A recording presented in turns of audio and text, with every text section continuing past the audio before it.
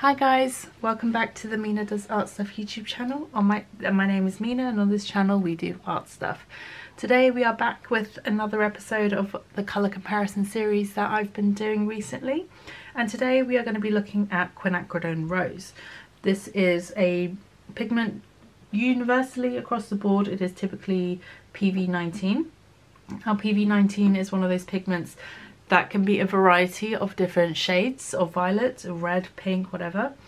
And um, so there again, it's a bit hard to take them from face value because you could have quinacridone violet be PV19, you can have quinacridone rose PV19, quinacridone lilac, quinacridone also a variety of quinacridone colours have the pigment PV19 in them with varying shades of violet and pink. So today we're looking specifically at quinacridone rose, which I believe is the most pink slash red version of a PV19 that we typically look at. And we've got 11 here to take a look at today. Some brands have this by various different names, but majority are called quinacridone rose. And, uh, and yeah, so we will jump right in. I am using Arches cold press watercolor paper and or 100% cotton watercolor paper and a Da Vinci Colineo size 8 round brush. Everything will be linked below and yeah I appreciate it if you do use those links because they are slight they are affiliate links where possible which just means that I get a small commission and it doesn't charge you anything extra but it helps me out on this channel. So first up we have M. Graham's Quinacridone Rose PV9. I'm not going to repeat the pigment information because it's PV19 for everything today. It's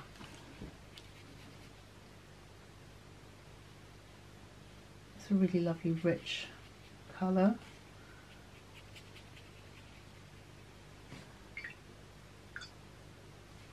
I like having PV19 as my primary red or sometimes I'll have a magenta but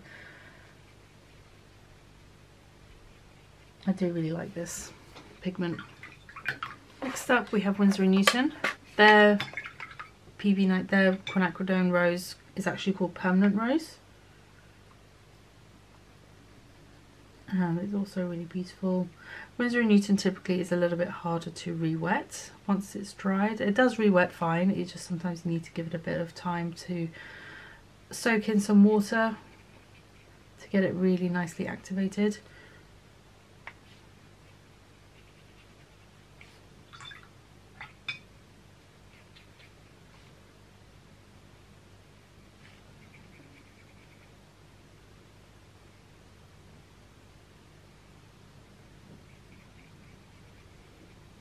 Next up we have Da Vinci. They call theirs, or the version of theirs that I have, is called Rose Madder Quinacridone.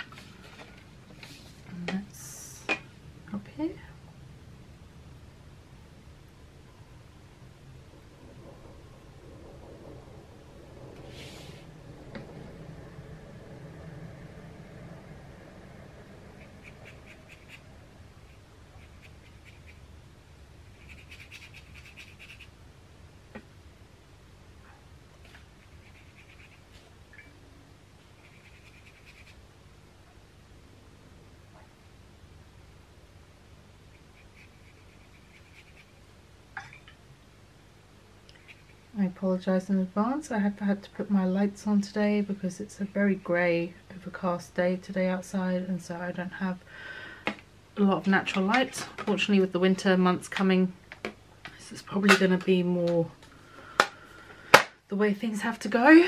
Next up we have Schmincke. Their PV19, they have a couple versions but I've gone with their Ruby Red which is the closest to other quinacridone rose pigments that I've used, or versions of PV19. So theirs is called Ruby Red.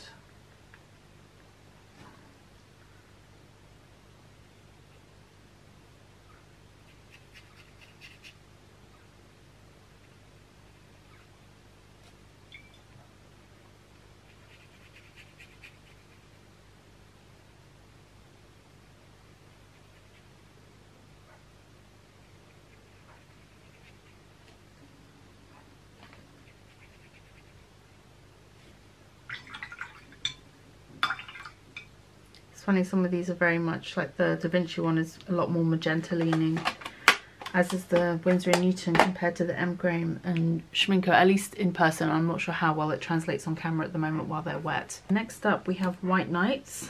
They do have a paint called Quinacridone Rose, but as we learnt in the Quinacridone Magenta episode, they call their Quinacridone Magenta Quinacridone Rose. So that's nice and confusing. And so their quinacridone rose is actually called quinacridone violet rose, which is their PV19. Beautiful colour. Just sometimes the naming can be a bit confusing with their paints. And again, I know I've mentioned this a lot, so I won't keep harping on about it, but I think it's important to learn about pigments so you don't end up in situations where you buy paints and you're not getting what you thought you were getting because you went off of the name rather than pigment information. Next up we have Daniel Smith's Quinacridone Rose. Again, it'd be interesting to see which one's my favourite. This is one that I do really like. So it'd be interesting to see if this one stays as one of my favourites or not once it's all said and done.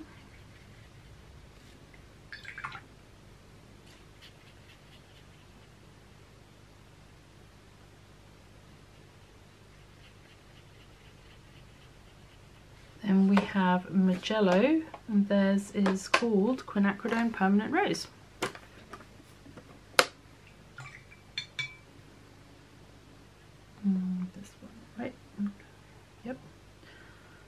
Checking my swatch sheet, making sure I'm grabbing the right one.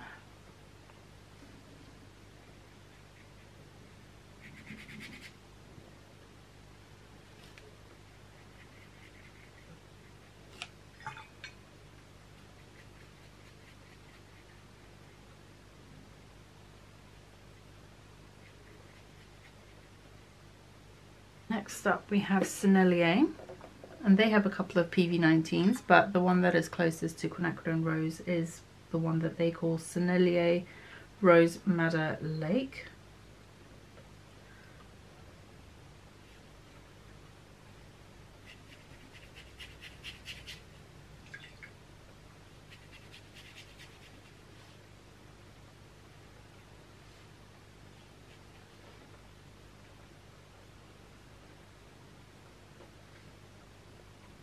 And then we're going to go to Turner and we have their version which is called Rose Red. Uh, that's down here.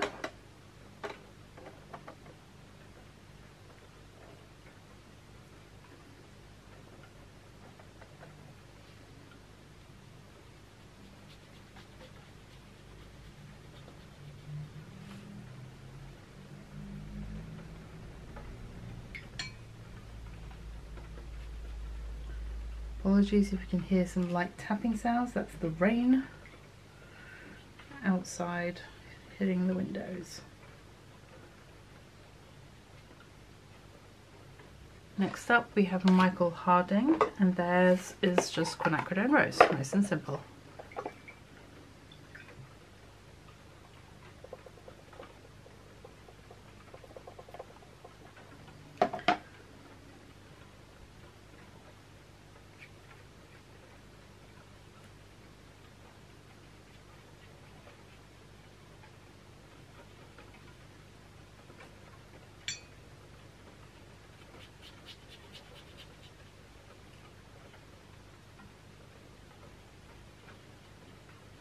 Lastly, we have Paul Rubens Rose Red. I just realised I must have dropped a splotch of water there, so let's just ignore that random patch.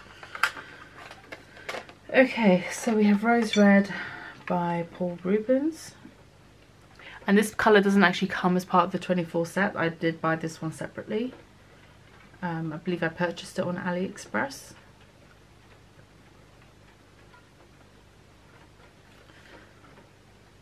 The only thing I will say about the 24 colour set from Paul Rubens, and this is the original 24 colour set, I don't know what the new sets come with.